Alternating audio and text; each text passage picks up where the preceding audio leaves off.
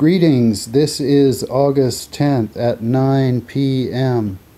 I'm just doing an early overview.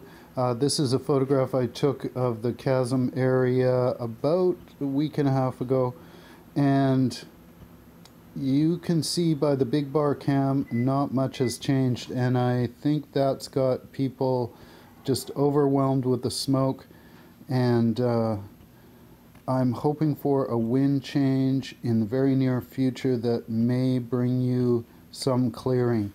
This is the update for 5:37 p.m. Pacific Standard Time.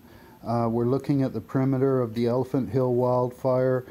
We can see a lot of intensity on the eastern flank, the northeastern flank uh, around the Upper Loon Lake area, the southwestern flank around Highway 99, Highway 97, and now over the last couple days uh, back at Boston Flats. Here's the numbers 140,962 hectares involved. Uh, that's the first time we've gotten into that digit range, and 28,072 hotspots uh, calculated at this time. I just want to jump in and say that since this afternoon's update. So uh, there's been some activity. I haven't run the numbers yet. I'll hopefully do that later on. And uh, you can see how much more territory is involved at this stage. Let's zoom in and look at these areas of intensity. Here we are at Highway 97, Highway 99. Uh, I was seeing infrared uh, approximately 500 meters uh, south of Highway 99. I'm only seeing one uh, hotspot now. That's in the last 6 to 12 hours. We're only looking at the most recent developments in this update. Still working in troublesome spots. However, we're looking at either reignition, uh, controlled burning, or spread of random natural fire heat sources. This is the six hour update, the most recent, and I'm just looking in there to see if I see any, uh, any of these infrared controlled signatures, uh, the patterning that we've been talking about. That's difficult to see, so I'm going to interpret this as an ongoing active uh, battle on this flank. We're jumping over to Clinton and in the 12 hours prior, no hotspots. That's very good news.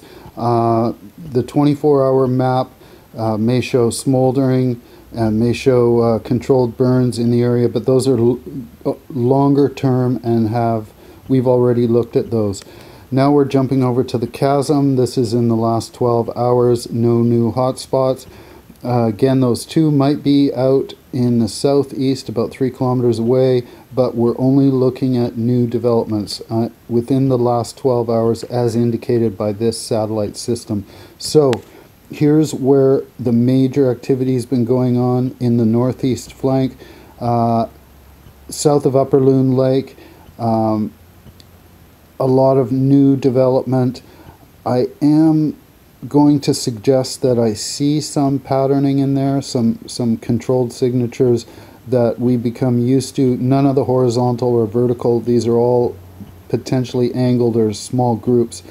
Um, we're now looking at the six hour map of the same time period. We've eliminated the 12 hour old infrared and it is a very active and volatile situation right there. Uh, it's ongoing. These are actions that have occurred in the six hours prior to 5:37 p.m. Pacific Standard Time. Now we're going down to the eastern flank. Uh, this is that struggle at the edge of the Deadman River uh, Canyon. We're up on the plateau. Uh, crews have been holding this back. Um, I'm seeing the 12-hour activity prior to this update. Still, and uh, now I've I want to see the whole day. How has this been going on for the last 24 hours? And there you see these uh, infrared uh, control or strategic signatures that are uh, visible as patterns horizontally and some vertically over towards Arrowstone Park.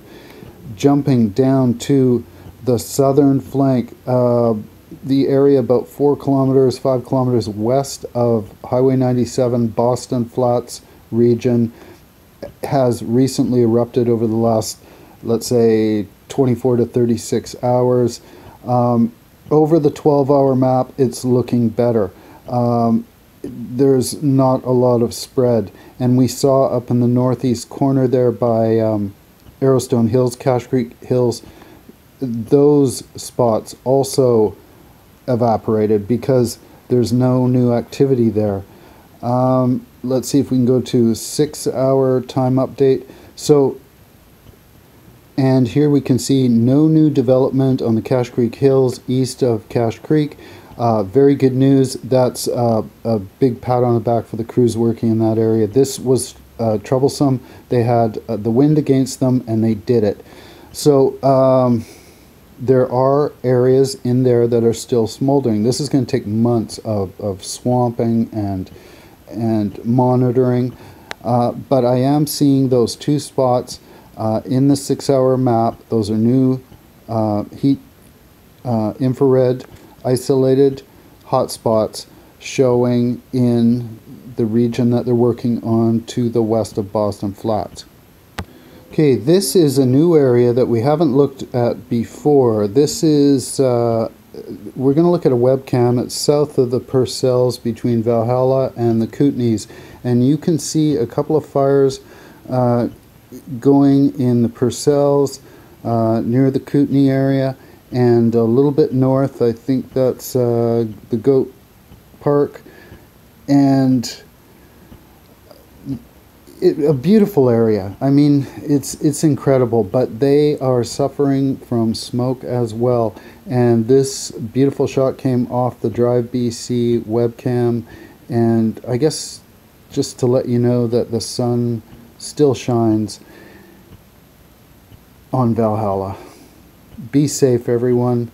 Take care, know your position, plan your escape, have your resources ready, and look out for each other. Thank you very much.